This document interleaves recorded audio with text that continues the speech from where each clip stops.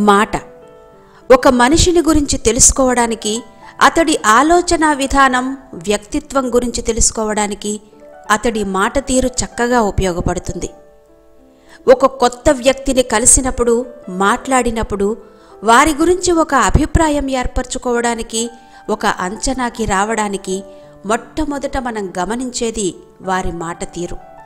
అంత శక్తివంతమైంది మాట.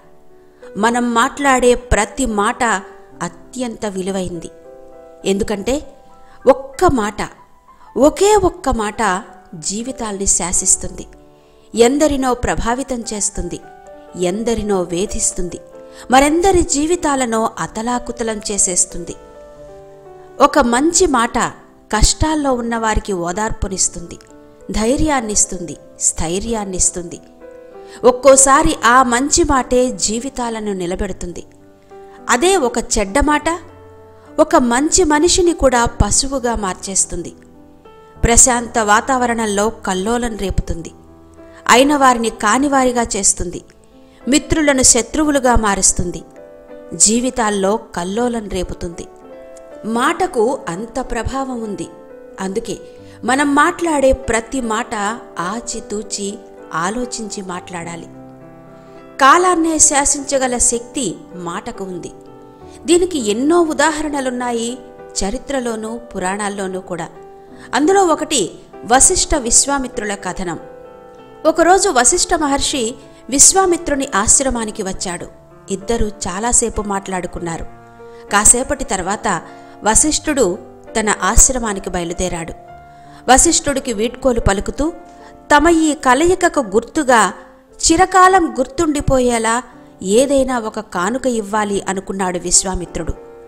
మహర్షులకు తపశ్శక్తికి మించిన విలువైనది ఇంకేముంటుంది? అందుకే తన వెయ్యేళ్ళ తపశ్శక్తిని వశిష్ఠునికి ధారపోశాడు విశ్వామిత్రుడు. ఇది జరిగిన కొన్నాళ్ళకు విశ్వామిత్రుడు వశిష్ఠుని ఆశ్రమానికి వచ్చాడు. వశిష్ఠుడు ఆయనను సాదరంగా ఆహ్వానించి గౌరవించాడు. అనేక ఆధ్యాత్మిక విషయాల గురించి మాట్లాడుకున్నారు. విశ్వామిత్రుడు తన ఆశ్రమానికి బయలుదేరే సమయంలో ఋషికి వీడ్కోలు పలుకుతూ అప్పటి వరకు తాము మాట్లాడుకున్న మంచి విషయాల పుణ్యఫలాన్ని బహుమానంగా ఇస్తున్నట్టు చెప్పాడు వశిష్ఠుడు. విశ్వామిత్రుడికి కొంచెం బాధ కలిగింది. తాను తన వెయ్యేళ్ళ తపోఫలాన్ని కానుకగా ఇచ్చాడు. కాని వశిష్ఠుడు కాసేపు మాట్లాడుకున్న మంచి మాటల పుణ్యఫలాన్ని ఇచ్చాడు. వెయ్యేళ్ళ తపఃఫలం ముందు ఈ మంచి మాటల పుణ్యఫలం ఏపాటి అనుకున్నాడు. అదే విషయాన్ని వశిష్ఠుడిని అడిగాడు విశ్వామిత్రుడు. తపోఫలం సత్సాంగత్య ఫలం. ఏది గొప్పదో తెలుసుకోవడానికి ఇద్దరూ బ్రహ్మదేవుడి దగ్గరకు వెళ్ళారు ఆయన ఈ ప్రశ్నకు సమాధానం విష్ణుమూర్తి చెప్తాడు వెళ్ళమన్నాడు. విష్ణుమూర్తి దానికి సరైన సమాధానం పరమశివుడే చెప్పగలడని చెప్పాడు. ఇక శివుడేమో ఈ ప్రశ్నకు సమాధానం పాతాళంలో ఉన్న ఆదిశేషుడు తప్ప మరెవ్వరూ చెప్పలేరని చెప్పాడట. దాంతో ఇద్దరూ కలిసి ఆదిశేషుని దగ్గరకు వెళ్ళి తమ సందేహం చెప్పారు. వారిద్దరి సందేహం విన్న ఆదిశేషుడు మీ సందేహానికి తప్పకుండా సమాధానం చెప్తాను. కాకపోతే నా తల మీద భూమి భారంగా ఉంది. దానిని కాసేపు ఆకాశంలో నిలబెట్టి ఉంచండి అన్నాడు. వెంటనే విశ్వామిత్రుడు నా తపోఫలాన్ని ధారపోస్తాను. ఆ తపశ్శక్తితో ఈ భూమి ఆకాశంలో నిలబడుతుంది అన్నాడు. అయితే భూమిలో ఎలాంటి చలనం కనబడలేదు. అప్పుడు వశిష్ఠుడన్నాడు మేం చర్చించుకున్న ఆధ్యాత్మిక విషయాలు మంచి మాటల వలన కలిగిన పుణ్యఫలం ధారపోస్తున్నాను ఆ శక్తితో భూమి ఆకాశంలో నిలబడాలని కోరుకుంటున్నాను అన్నాడు. వశిష్ఠుడు అలా అనగానే ఆదిశేషుడి తల మీద ఉన్న భూమి ఆకాశంలో నిలబడింది. ఆదిశేషుడు తిరిగి భూమిని తన తల మీద పెట్టుకుని ఇక మీ ఇద్దరూ మీ మీ ఆశ్రమాలకు వెళ్ళండి అన్నాడు. మీ దగ్గరకు ఎందుకు వచ్చామో ఆ సందేహాన్ని తీర్చకుండానే వెళ్ళమంటే ఎలా అన్నారు ఇద్దరు. ఇంకా చెప్పడానికేముంది? మీ ఎదురుగానే రుజువైంది కదా. తపోఫలం గొప్పదో మంచి మాట గొప్పదో ఇక వేరే తీర్పు చెప్పడానికేముంది అన్నాడు ఆదిశేషుడు.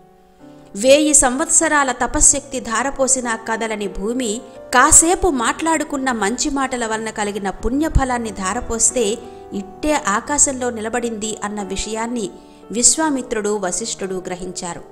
అంత శక్తి ఉంది మాటకు. ఆ మాట మంచిదైతే ఇక చెప్పేదేముంది? అందుకే మీకోసం పెద్దలు చెప్పిన ఒక మంచి మాట. దుర్మార్గులతో స్నేహం మంచిది కాదు. విరోధము మంచిది కాదు. ఎందుకంటే పాము ప్రేమగా కరిచినా కసిగా కాటేసినా ప్రమాదమే. దాని ఫలితం ఒక్కటే ప్రాణహాని. మాట అత్యంత శక్తివంతమైన ఆయుధం. మనం ఎదుటివారిని పలకరిస్తే పండు వెన్నెల కురిసినట్టుండాలి.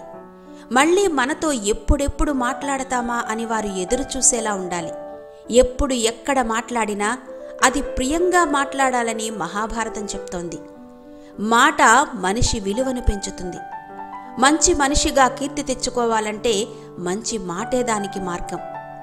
మంచి మాట చాలు మనసు గాయంబు మాన్పజాల గొప్ప మంచువోలే అన్నాడొక మహాకవి. అలాంటి ఓ మంచి మాట మీకోసం. నీ పట్ల ఇతరులు ఎలా ఉండాలని నీవు కోరుకుంటావో ఇతరులతో నీవు కూడా అలాగే వ్యవహరించు. అప్పుడే ఆనందం వెల్లివిరుస్తుంది. అంతే కదా? మన విషయంలో ఎదుటివారు ఎలా ఉండాలి అని కోరుకుంటామో మరి మనం కూడా ఎదుటివారి విషయంలో అలాగే ఉండాలి కదా? శత్రువుల్ని కూడా మిత్రులుగా మార్చే శక్తి మాటకుంది. రామాయణంలో ఒక సందర్భంలో సుగ్రీవుడు ఇచ్చిన మాటను మర్చిపోయాడని అలా మరచిపోతే వాలికి పట్టిన గతే పడుతుందని హెచ్చరించడానికి మహోగ్రంగా రౌద్రంగా వచ్చాడు లక్ష్మణుడు. అప్పుడు హనుమంతుడు ఎదురుగా వచ్చి సుగ్రీవుని దయనీయమైన స్థితిని చెప్పి తమ మాటలతో క్రోధంగా ఉన్న లక్ష్మణుణ్ణి అత్యంత శాంతంగా మార్చేస్తాడు. అంత ప్రభావపూరితమైనది మాట. అలాంటి ఓ మంచి మాట. మంచిగా జీవితం గడపాలనుకునే వ్యక్తికి అణకువ నమ్రత సాధుత్వం అవసరం అంటారు సెయింట్ తెరిసా మాట వెన్నెల కురిసినట్టు ఉండాలి అంటారు పెద్దలు. మన మాట ఎదుటి మనిషికి ఆనందాన్ని ఆహ్లాదాన్ని పంచాలి. నోరు మాట్లాడుతుంటే నొసలు వెక్కిరిస్తున్నట్టు ఉండకూడదు మన మాటలు.